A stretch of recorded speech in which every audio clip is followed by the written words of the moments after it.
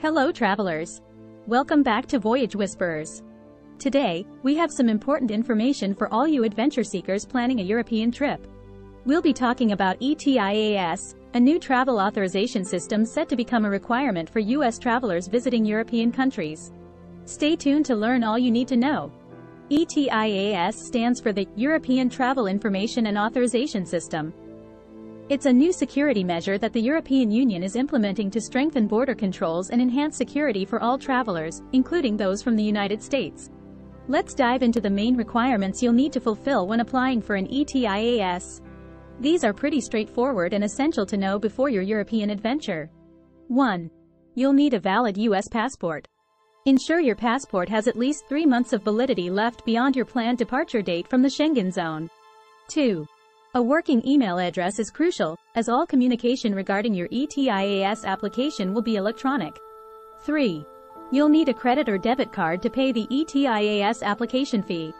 The fee is quite reasonable. We'll discuss it in more detail shortly. 4.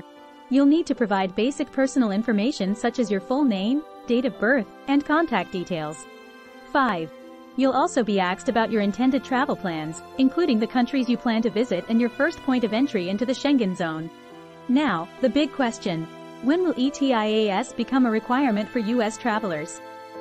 Starting in 2025, all U.S. citizens planning to visit any European countries in the Schengen area will be required to obtain an approved ETIAS before departure.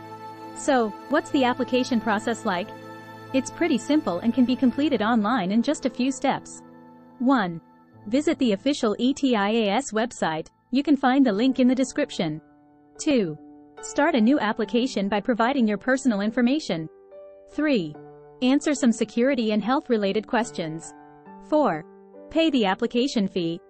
The estimated cost is 7 euros, the equivalent of $7.04, and it will be a one-time payment that will cover multiple entries over 3 years.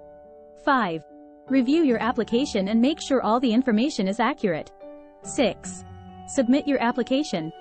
Once your application is processed, you'll receive an email with the status of your ETIAS authorization, which is usually granted within minutes. In some cases, additional information might be requested, so it's essential to apply well before your travel date.